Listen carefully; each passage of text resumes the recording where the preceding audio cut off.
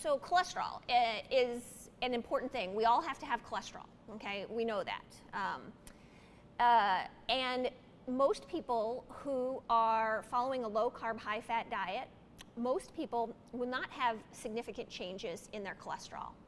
You have a subgroup of people who have significant improvements, and you have a small group of people who get worse. Most of the time, we hear a lot about cholesterol getting worse, um, and they tend to, I will tell you, this is anecdotally, they tend to be um, thinner patients who are exercising a lot. That's typically what we see. And so the question we always have to ask if we have anyone whose cholesterol is increasing, okay, um, is this a risk for the person? Okay, and I will tell you, I take the cholesterol issue incredibly seriously. Okay, um, I actually am a board certified lipidologist, so believe me. Okay, um, I like to talk about cholesterol. um, and I like to talk about it with the people who are the most important people to talk about it with, which is the patient. If they have a lab where cholesterol has risen, what are we going to do about it? Ultimately, the question is does this present and pose increased risk to me? Okay? And so, one of the first things I always want to ask the person is what kind of lipid tests did you have? Okay?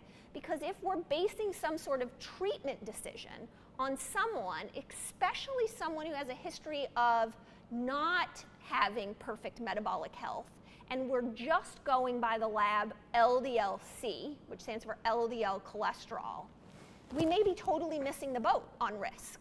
Okay? In a lot of people who have had a history of insulin resistance, it is much better to be assessing risk with something called LDLP, LDL particle number, or ApoB. So instead of telling us how much cholesterol the particles are carrying as a whole, it actually tells us, much more importantly, how many particles that could potentially be problematic are there in general, right? And what we see very often in people who have insulin resistant history is that there's a really big mismatch.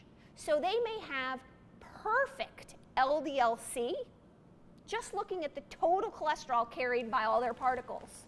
But what we find when we look at LDLP is that their LDLP values are through the roof. Cholesterol is being carried by way more particles than it should be. That's a hallmarker of insulin resistance. So if we judge a cholesterol panel in anyone with insulin resistance just by LDLC, we may be missing the boat. We may be underestimating or overestimating the risk. So we always want to get the big picture. Let's find out how many particles you have. And like I said, most people who are following a well formulated ketogenic diet see an improvement. And if anyone wants the paper on that, that one's already published, okay? So we'd be happy to send it to anyone who'd like to share that paper, okay?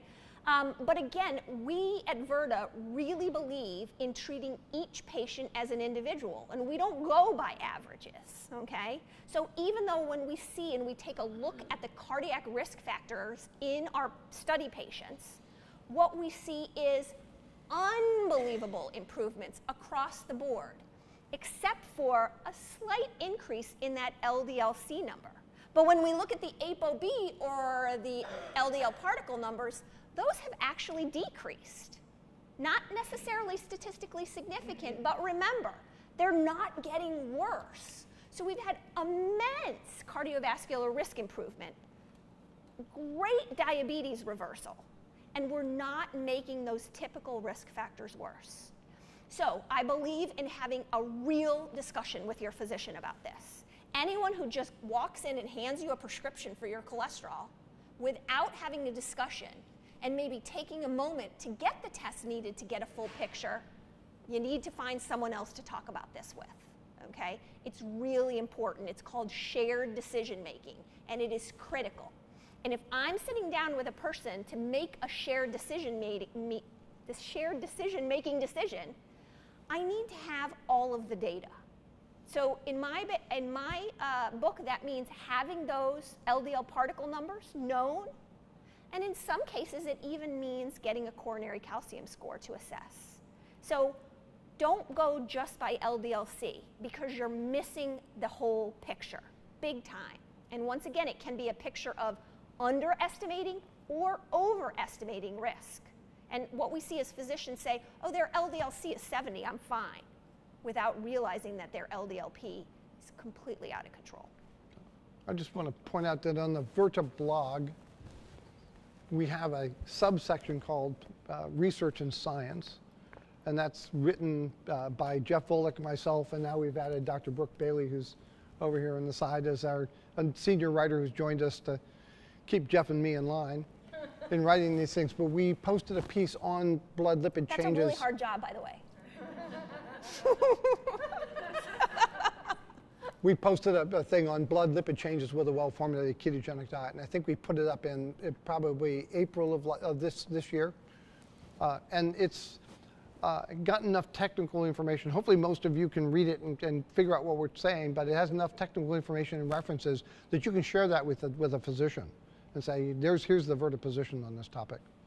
So, and for many things, so the piece on sodium and and you know salt intake is there.